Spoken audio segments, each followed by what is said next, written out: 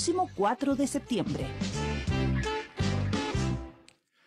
9 de la mañana con 34 minutos. Estamos de regreso en esta primera edición de Radio Análisis y estamos en esta sección ¿Qué dice el texto de la nueva constitución? Eh, para profundizar en los contenidos de la propuesta y que usted pueda de esta forma entonces votar lo más informado o informada posible el próximo 4 de septiembre. Saludamos a esta hora de la mañana al director ejecutivo de Amnistía Internacional Chile, el abogado Rodrigo Bustos, quien está con nosotros. ¿Cómo le va, Rodrigo? Buenos días. Gracias por estar con nosotros nuevamente acá en Radio Universidad de Chile. Hola, Claudio. Muy buenos días. Muchas gracias a ustedes por la invitación. No, gracias a usted por participar de, este espacio para, para, profundizar en algunos aspectos relacionados o no relacionados que están contenidos en el texto de propuesta de nueva constitución que será sometido a plebiscito el próximo 4 de septiembre. Y en esta ocasión vamos a abordar el enfoque de derechos humanos que está eh, expresado en esta propuesta, eh, pero en particular en lo referente a eh, algunos aspectos que afectan profundamente a muchas comunidades y territorios de nuestro país. Estamos hablando de temas medioambientales y de, y de igualdad. Eh, ¿Qué podríamos decir a modo general, Rodrigo, eh, en primera instancia respecto de, estos temas, eh, la forma en la cual están abordados en la propuesta de nueva constitución y, por cierto, lo, lo, que, lo, lo, que se expresa en, términos de cambios o, avances según, según lo que has podido identificar? Sí, mira, Claudio, pues, quisiera partir por lo segundo. Bueno, eh, primero que nada, en realidad señalar que eh, desde Amnistía Internacional hemos estado eh, muy esperanzados en que se pueda aprobar este texto constitucional.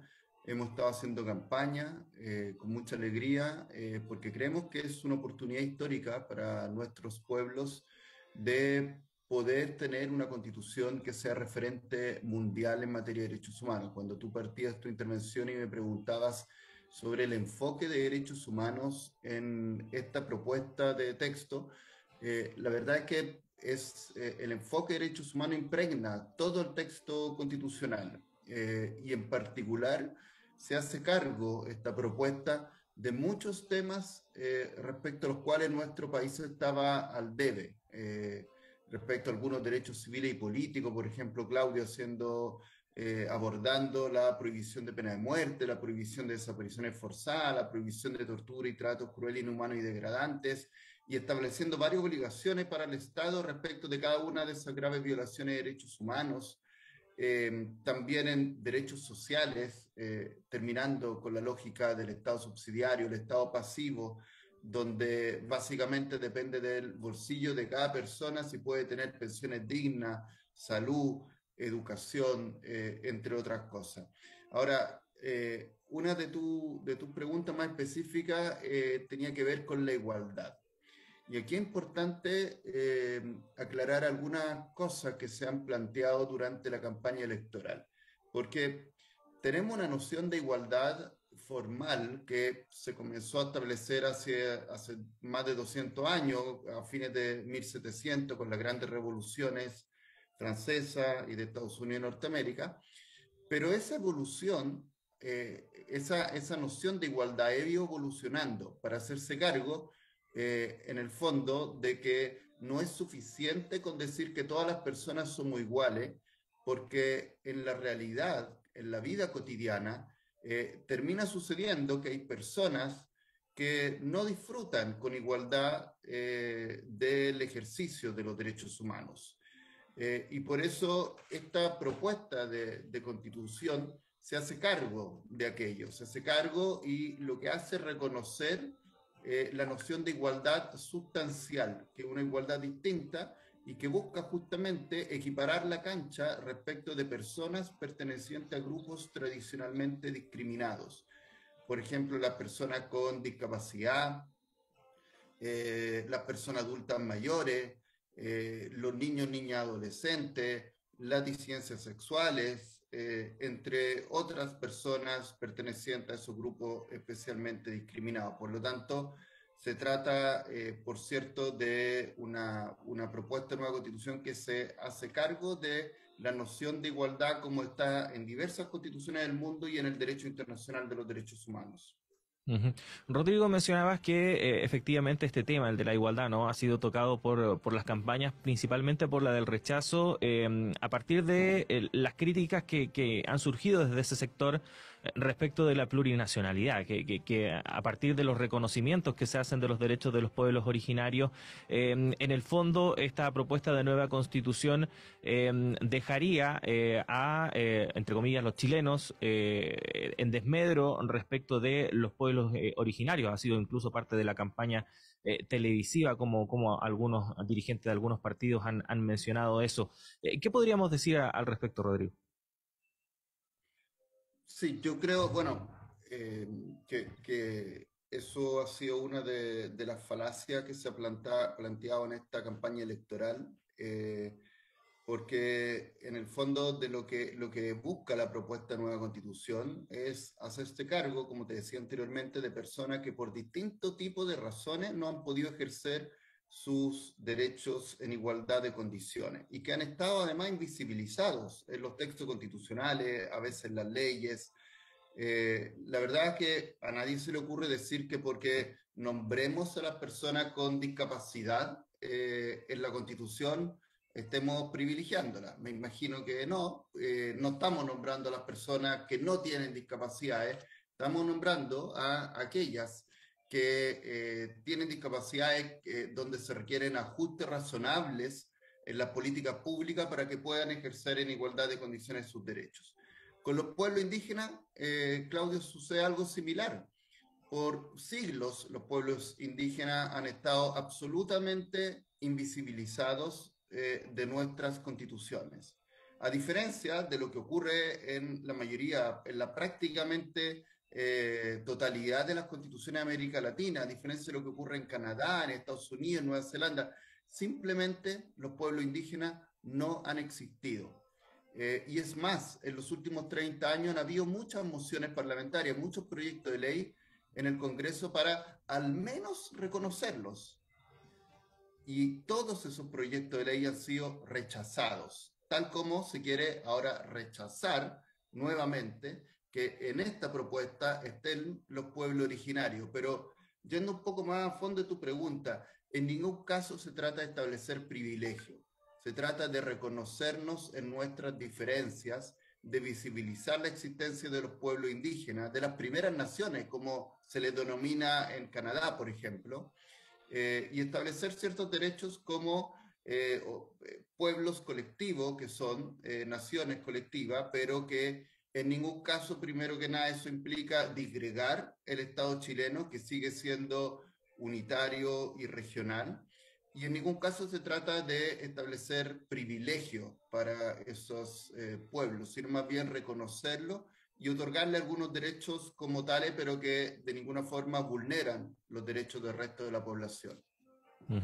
Eh, solamente insistir para que quede bien claro, porque efectivamente ha sido uno de los, de los argumentos que no solamente se ha visto en la franja televisiva, sino que, por ejemplo, también en, estos panfletos que se reparten a veces a la salida de, del metro o en, lugares donde hay gran concurrencia de gente. Por ejemplo, el hecho que esté establecido reconocimiento de la consulta indígena no genera ningún tipo de discriminación en ese sentido. No, ninguno. Y la verdad es que además eh, la consulta indígena hoy día ya está reconocida en nuestro ordenamiento jurídico, porque está establecida en el convenio 169 de la Organización Internacional del Trabajo, eh, que Chile eh, ha firmado, ha ratificado, es parte, se aplica ya la consulta indígena en distintas políticas públicas, se ha resuelto la exigencia de aplicarla muchas veces ya por eh, la Corte Suprema, por ejemplo, cuando hemos estado frente a proyectos medioambientales que pueden tener un impacto en determinadas comunidades indígenas. Por lo tanto, eh, básicamente se constitucionaliza algo que eh, ya se encuentra de otra forma, pero ya se encuentra en nuestro ordenamiento jurídico. Eh, así que eh, en ningún caso se trata de un privilegio, sino reconocer un derecho que está establecido en un convenio internacional del cual Chile ya es parte. Eh, Rodrigo, en una columna que usted publicó, de hecho aquí en, nuestro diario electrónico radio.chile.cl, aprobar es humano y es ecológico, usted, usted hace la distinción respecto de lo que establece nuestra actual constitución, la que está en vigencia actualmente y la que continuaría en vigencia en caso de que, por ejemplo, ganara el rechazo, respecto de lo que establece la, propuesta que será sometida a plebiscito el, 4 de septiembre. ¿Qué, podríamos decir al respecto?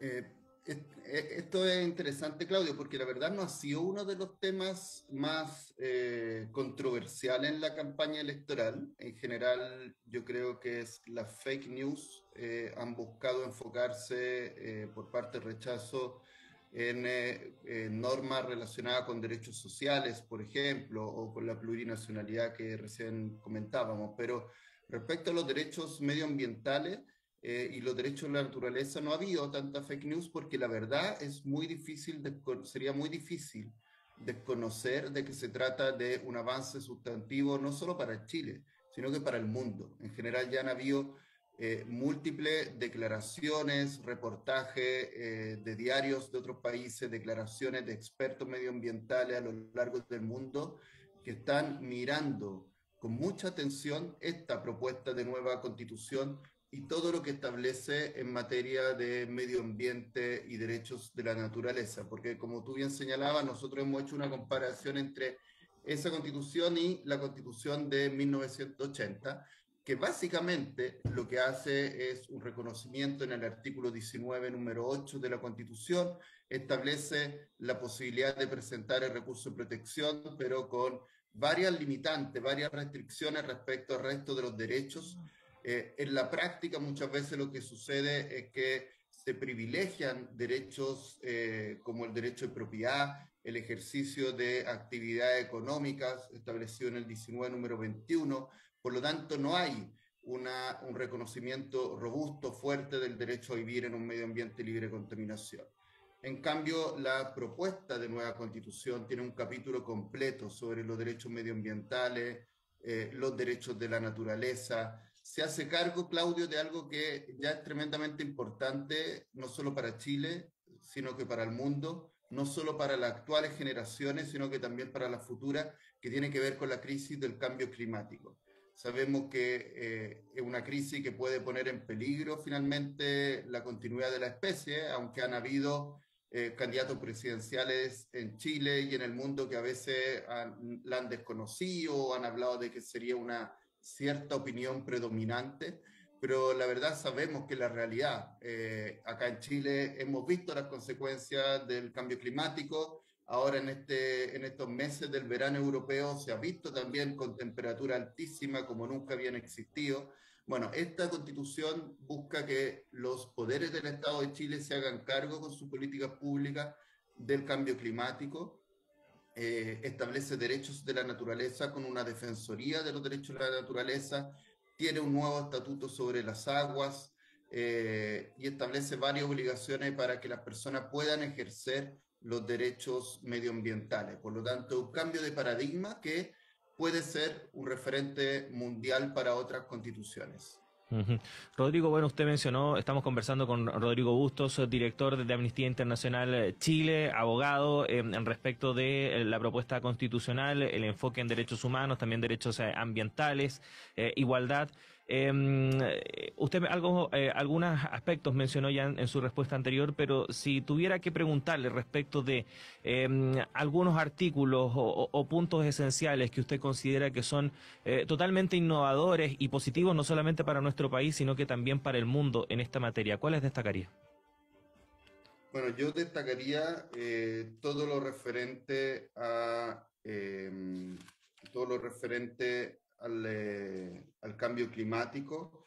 Eh, el, inicio ya del capítulo 3 sobre naturaleza y medio ambiente, el artículo 127, parte entendiendo la obligación de proteger eh, la naturaleza. el 129 habla de la necesidad de adoptar acciones de prevención, adaptación y mitigación de los riesgos, la vulnerabilidad y los efectos provocados por la crisis climática y, ecológica. Eso implicará después que los gobiernos de turnos, el Congreso, va a tener que adoptar una serie de leyes y políticas respecto eh, del cambio de la crisis climática y ecológica. El 130 habla de, que el Estado protege la biodiversidad, estableciendo también varias eh, obligaciones eh, al respecto. Por lo tanto, son normas, como te señalaba anteriormente, que serían eh, normas completamente vanguardistas y de avanzadas si la comparamos con las constituciones que hay a lo largo del mundo. Bueno, Rodrigo, agradecerle estos minutos que ha tenido para conversar con nosotros. Sin duda alguna vamos a, continuar profundizando en estos días que nos quedan, porque nos queda muy poco tiempo para poder ir eh, em, entregando mayores detalles respecto del contenido de la nueva constitución sobre este u otros temas. En esta ocasión conversamos con el director ejecutivo de Amnistía Internacional Chile, Rodrigo Bustos, en esta sección que dice el texto. Agradecerle, como siempre, la disponibilidad que tiene para conversar con Radio Universidad de Chile y, y agradecerle y desearle un buen día, por cierto.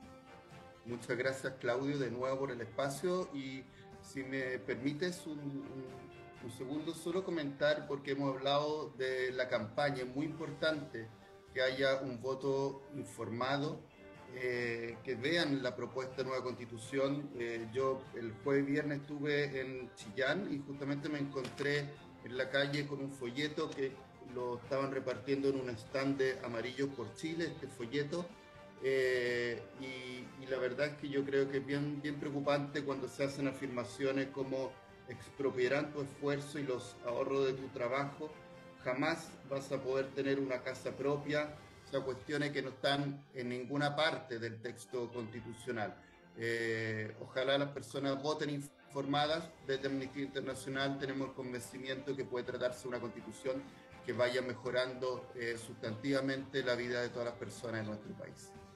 Sí, sin duda alguna, Rodrigo, por lo mismo está el, espíritu de realizar este tipo de, espacios para aclarar todo tipo de dudas y, desmentir también este tipo de, informaciones que independiente de la opción que cada, cada persona tenga, que eh, hemos, lo hemos dicho también en reiteradas ocasiones, son absolutamente legítimas, eh, la idea es que se tome esa decisión sobre la base de información eh, verídica, cierta y no de este tipo de desinformaciones. Rodrigo, muchas gracias y nos reencontramos en una próxima ocasión. Que esté bien. Muchas gracias a ustedes, que tengan un buen día. Ahí estaba entonces el eh, director ejecutivo de Amnistía Internacional de Chile, el abogado Rodrigo Bustos, con quien estuvimos profundizando en algunos aspectos relacionados con eh, derechos ambientales, eh, respecto de cómo está contenido en esta propuesta de nueva constitución el concepto de igualdad, derechos humanos, en fin. y como expresaba también Rodrigo al comienzo de esta, de esta conversación, cruza prácticamente este enfoque en, toda la propuesta constitucional, por lo mismo no, no pudimos ir abordando uno por uno cada uno de los artículos, pero sí dando una mirada más general respecto de lo, de lo que propone el texto. Son las 9 de la mañana con 52 eh, minutos. Algunas informaciones antes de despedir esta primera edición de radioanálisis. Eh, habló la ministra del Interior, Isquia Siches, en una actividad que tuvo bien temprano durante esta mañana eh, a propósito de, eh, una, de una banda dedicada a portonazos y otro tipo de delitos que fue desbaratada por la Policía de Investigaciones. Se refirió a la entrevista que dio durante la jornada de ayer el eh, presidente de la República, Gabriel Boric, eh, prefirió no comentar lo relacionado con, por ejemplo, un eventual cambio de gabinete. Reiteró que eso es una potestad exclusiva del presidente de la República y que en su caso eh, ella estaba para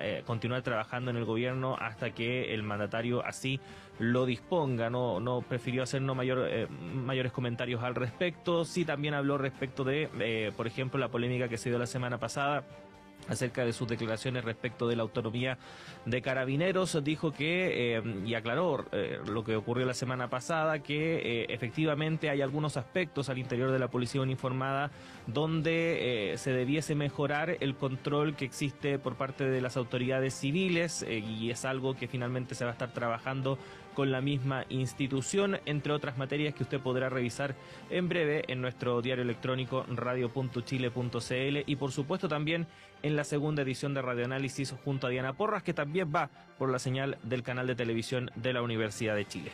9.54, muchas gracias por haber llegado hasta acá. La invitación es a que acompañe en minutos a Antonella Esteves y Semáforo, que llega eh, para continuar con la programación de Radio Universidad de Chile y siga junto a la red de radios que piensan y al canal de televisión Uchile TV. Gracias a todo el equipo de la radio, en especial a Ricardo Hinojosa, Manuel Silva, a Tania González. Nos reencontramos mañana. Que estén bien.